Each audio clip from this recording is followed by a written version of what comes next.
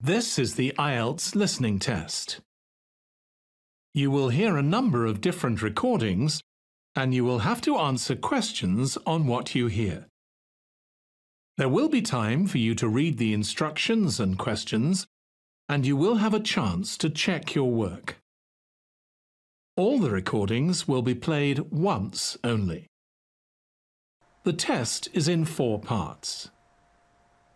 At the end of the test, you will be given 10 minutes to transfer your answers to the answer sheet. Now turn to part 1.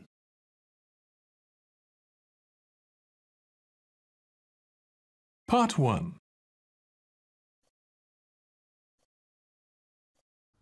You will hear a science student inquiring about English courses at a university language centre.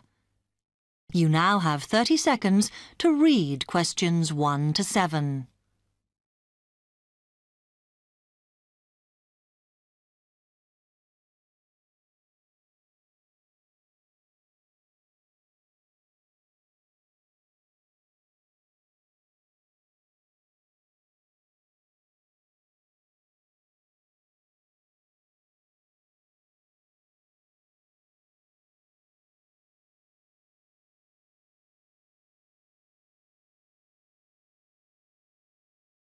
Hi, I've come to ask about the English courses you run for international students. Oh, right. I assume you're a student at the university. Yes, I've just started. Okay. Well, we've got a range of courses. It depends what you think you need and how much. Oh. Um, we can't run everything at the same time, though. So, for example, in this first term, we are just doing a writing course. I see. That sounds quite useful. What else is there? Um, some of the courses only run for single terms, and we tend to focus on what students have difficulty with. That means we don't usually do speaking courses, but next term you can do listening. Oh. That'll help you with lectures and things. Our provision is all based on what the majority of our international students need. So, is everything term based? There's nothing that you run all year? Well, let's have a look. Yes, there is a class for vocabulary and grammar every term. That's for everybody, but it's split into three or four levels. And what about in the holidays? We don't do anything during the winter or spring break. But over the summer, there's just general classes because that's what most students want. Hmm. A bit of everything. Mm-hmm. Okay, quite a variety then. I'll uh, have a think about what I really need because I haven't got much time. Do you have about 20 students in each class, the same as our science seminars? We try to keep it at about 12 and certainly not more than 15. It's important for language classes. They're very different from your normal courses. Right. And how much are the classes? The rate varies depending on how many hours you attend, but you shouldn't have to pay. Usually, the department will fund you and even sort out which classes you need. Oh, Brilliant. It would be quite useful for me to have a certificate to take back to my country. Do you put us in for exams? Yes, but we don't like them to clash with your main course exams in June, so we run them in May. Oh. That leaves you time for revision. Do I have to sign up for something now? I'm not quite sure what I want. Classes haven't quite started yet, so you've got time to decide what you do. All we insist is that you sign up before week five. That gives you about three weeks to decide. Okay. You now have 15 seconds to read questions 8 to 10.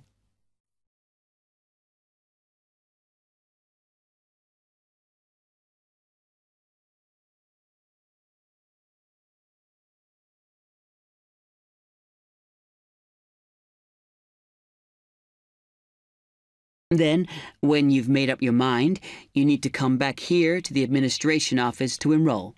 What do I need to bring with me when I enroll? My identity card, I guess. Yes, or your passport. Uh huh. Then you'll be given a registration form, which you'll have to show to the teacher when you have your first class. Okay. And um, should I ask my tutor about which classes I should do then? Yes. Then you get a note from him and give that to the desk when you register. Can I use the computers here as well? Yes. You'll be given a password when you go to your first class. So remember to bring a disk with you to save your work on, as you won't be allowed to save it on the hard drive. Okay. Will I need anything else? Dictionary? We've got loads of those here that you can borrow.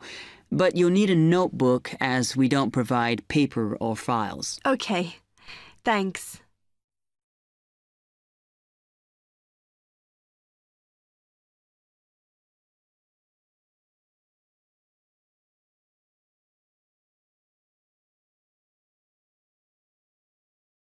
That is the end of part one. You now have one minute to check your answers to part one.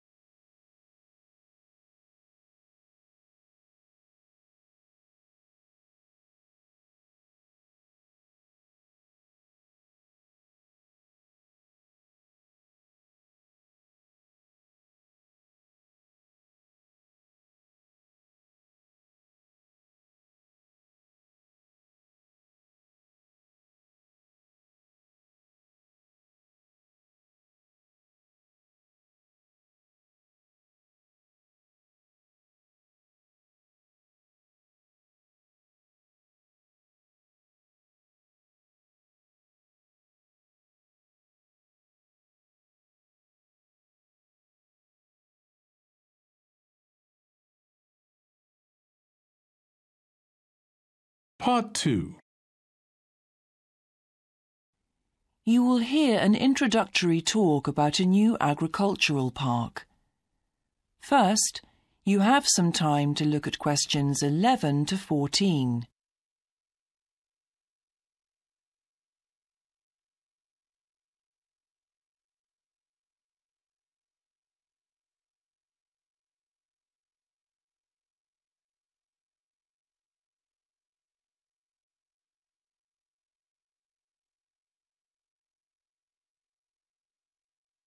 Now listen carefully and answer questions 11 to 14. Welcome to Greenvale Agricultural Park. As you know, we've only been open a week, so you're amongst our first visitors. We have lots of fascinating indoor and outdoor exhibits on our huge complex, spreading hundreds of hectares. Our remit is to give educational opportunities to the wider public, as well as to offer research sites for a wide variety of agriculturists and other scientists. Let's start by seeing what there is to do. As you can see uh, here on our giant wall plan, we are now situated in the reception block here. As you walk out of the main door into the park, there's a path you can follow. If you follow this route, you'll immediately come into the rare breeds section, where we keep a wide variety of animals, which I shall be telling you a little more about later. Next to this, uh, moving east, is the large grazing area for the rare breeds. Uh, then further east, in the largest section of our park, is the forest area. Um, south of the grazing area, and in fact just next to the reception block, is our experimental crop area. In the middle of the park, uh, this circular area is our lake. Uh, these two small rectangular shapes here are the fish farms where we rear fish for sale. To the east of those is the marsh area which attracts a great many migrant birds. Uh, uh, in the southeastern corner, beyond the marsh, is our market garden area, growing vegetables and flowers. Before you hear the rest of the talk, you have some time to look at questions 15 to 20.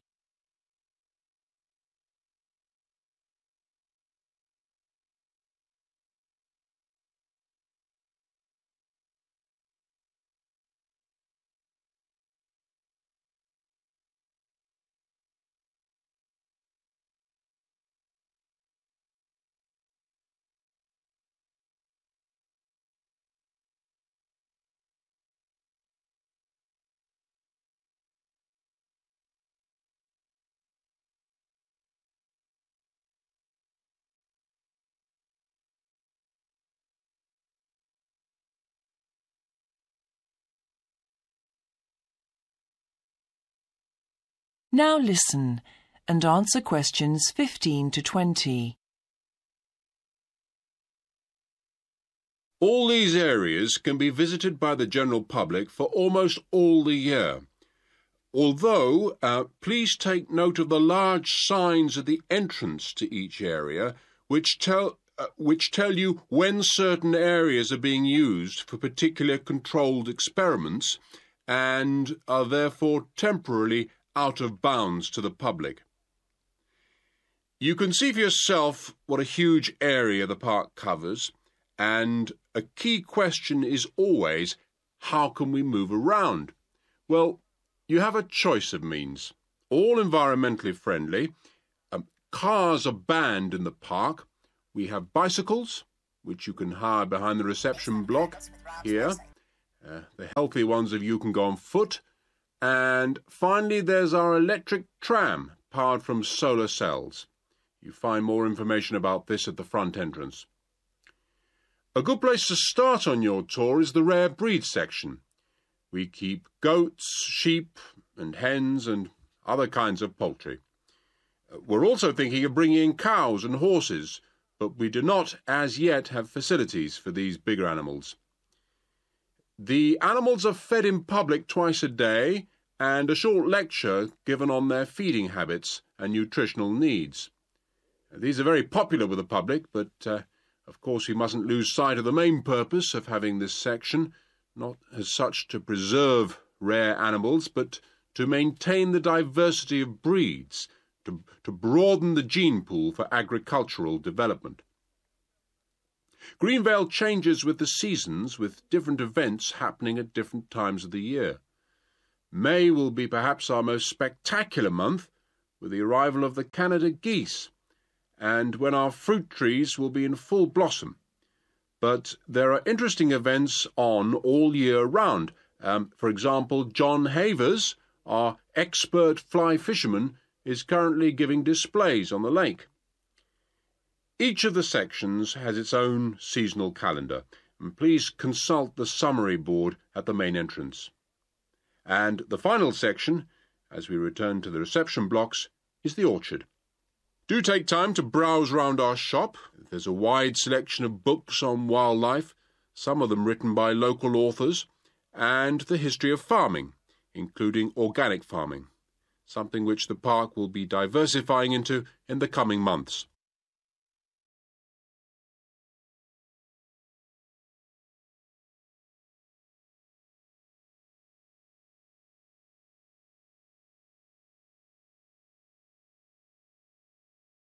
That is the end of part two.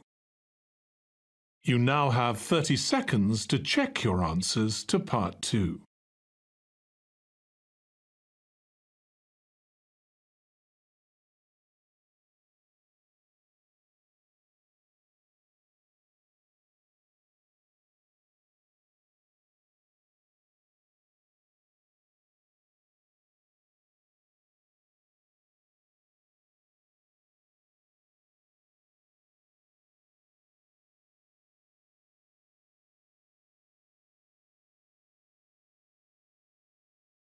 Part 3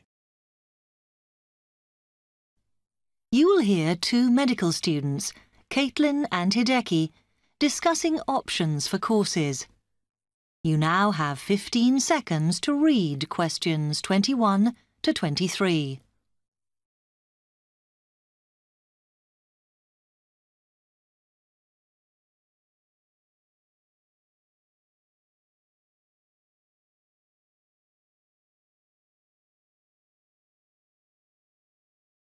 Hi, Hideki. How are you? Fine. I'm glad I bumped into you. Have you got five minutes to sit down and discuss our extra course options for next term? Yeah, sure. You mean the support courses for our modules? Yes. We've got three choices, and I'm not sure which would be best for us to do. Let's have a look. Um, yeah, we could do science and ethics. Sounds quite interesting. Mm, Yes, but I think we should be thinking what we get out of each course. So, science and ethics, there's a lot of reading and research to do. And I don't think it comes up in the exams, does it? Um, I'm not sure. Uh.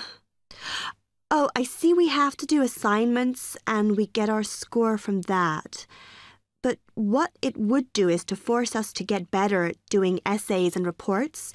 You know, organizing them and using the right kind of language. Hmm. Might be worthwhile. Yeah, you're right.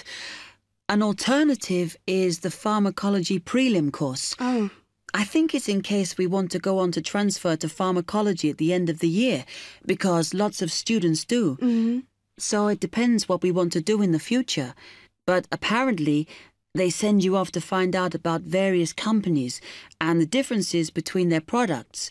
It would give you lots of practice in investigative studies and analysis. I think I'd quite enjoy that. Yes, I see your point. Um, then the other option is reporting test results. Sounds a bit boring. Not sure why they have a separate course just for that. Well, I could certainly do with some help in that. Because if you go out into industry, that's what you'll spend most of your time doing. Mm. So it's got a very practical application. hmm I think I'm going to go for pharmacology. Me too.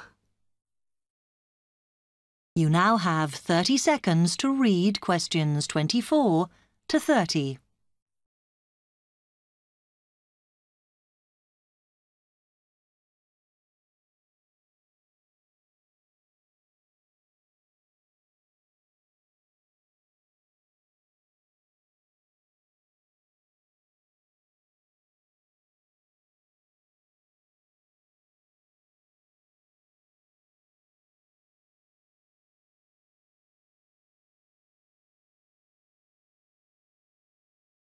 So let's have a look at it in more detail.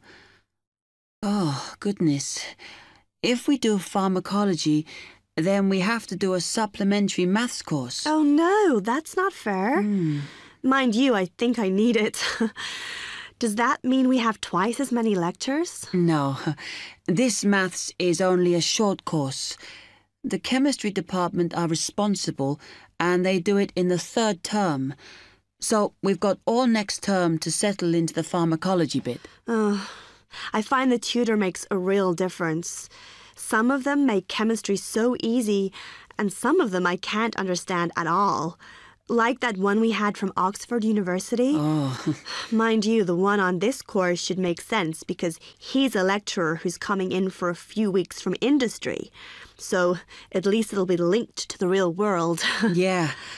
The project we have to do on this pharmacology course is huge, and it doesn't give us much time. We have to make a decision about what we want to do on the project as soon as we start in January, and then hand in our plans before the end of the month. Doesn't give us much time to sort out what's possible or not. Hmm. I mean, doesn't the scale of our project depend on what resources we can have? Like what equipment we can use? I suppose so, though I think there's plenty available. For example, it says that if we need to do any experiments, then we can use all the equipment in the new lab, as long as we book it. Oh, okay. It's slowly beginning to take shape for me. I think it'll be a good course. I'm just worried that I get enough support to do it. Huh, I think you'll be okay. And the tutors are always available if you get stuck. Uh, actually, it says that if you're not sure, then in December they'll be running one or two additional seminars. So I might go to those. Actually, what's quite interesting is that at the end of the course, when our project is completed, then we have to do a presentation on it. Oh, I think that's quite good practice. a bit scary though. Well, it shouldn't be too bad, as they say that we can do it in pairs. Spread the load, as it were. Good. I have done presentations before, but I'm always very nervous. And is the presentation what we're assessed on then? Let me look. Um. Ah, it says that we have an interview and we get a mark for the whole course depending on how well we do in that. Oh, right. Okay. So I...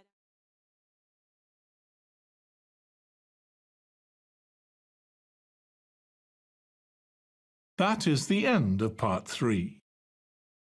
You now have 30 seconds to check your answers to Part 3.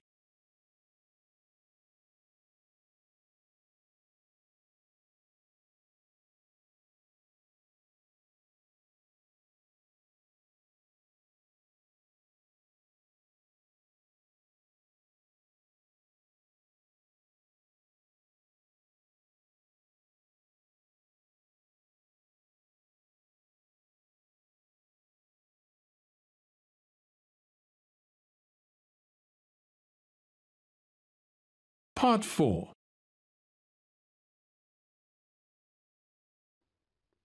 You will hear a student giving a presentation about a project on household waste recycling. First, you have some time to look at questions 31 to 40.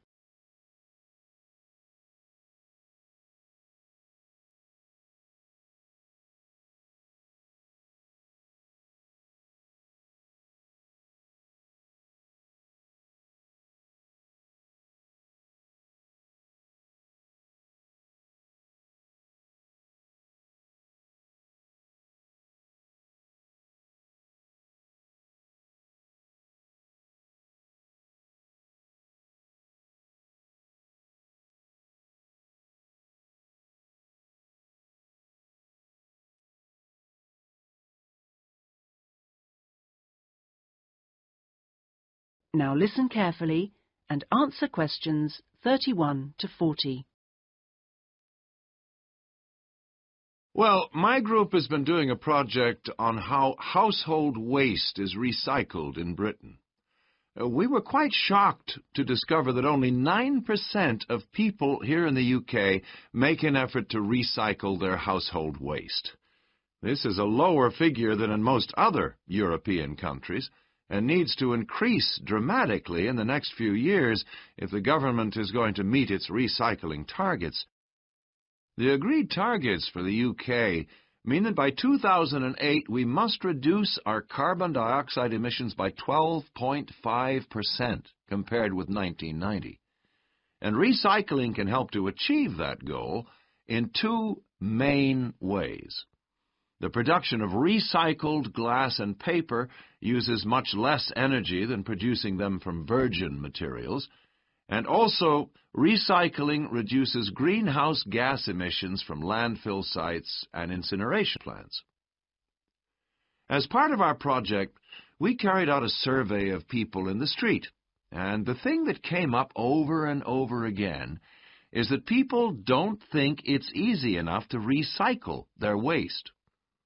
One problem is that there aren't enough drop-off sites.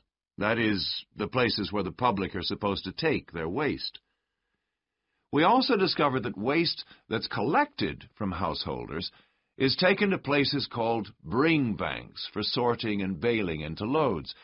One problem here is taking out everything that shouldn't have been placed in the recycling containers. People put all sorts of things into bottle banks, like plastic bags, and even broken umbrellas. All this has to be removed by hand. Another difficulty is that toughened glass used for cooking doesn't fully melt at the temperature required for other glass, and so that also has to be by hand. Glass is easy to recycle because it can be reused over and over again without becoming weaker. Two million tons of glass is thrown away each year. That is 7 billion bottles and jars. But only 500,000 tons of that is collected and recycled.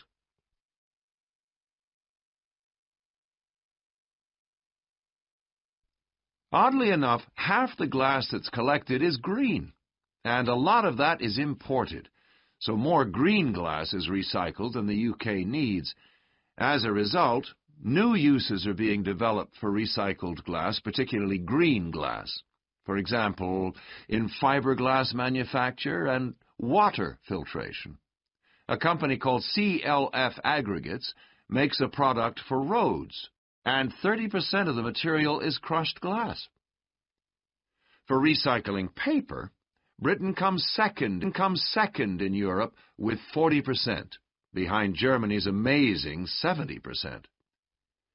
When recycling started, There were quality problems, so it was difficult to use recycled paper in office printers, but these problems have now been solved. And Martins, based in South London, produces a range of office stationery which is 100% recycled, costs the same as normal paper, and is of equally high quality. But this high quality comes at a cost in terms of the waste produced during the process. Over a third of the waste paper that comes in can't be used in the recycled paper, leaving the question of what to do with it. One firm, PaperSave, currently sells this to farmers as a soil conditioner, though this practice will soon be banned because of transport costs and the smell and the company is looking into the possibility of alternative uses. Plastic causes problems because there are so many different types of plastic in use today, and each one has to be dealt with differently. Packrite recycles all sorts of things, from bottles to car bumpers, and one of its most successful activities is recycling plastic bottles to make containers which are used all over the country to collect waste. The Save a Cup scheme was set up by the vending and plastics industries to recycle as many as possible of the 3.5 billion polystyrene cups used each year.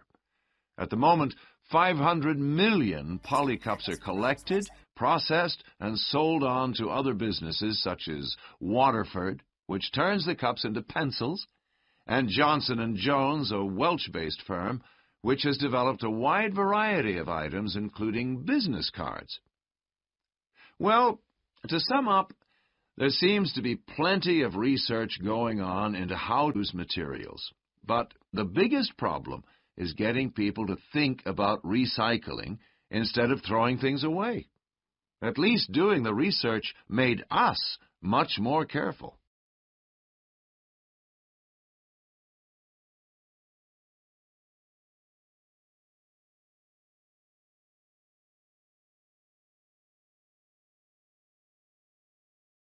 That is the end of part four. You now have one minute to check your answers to part four. That is the end of the listening test. In the IELTS test, you would now have 10 minutes to transfer your answers to the answer sheet.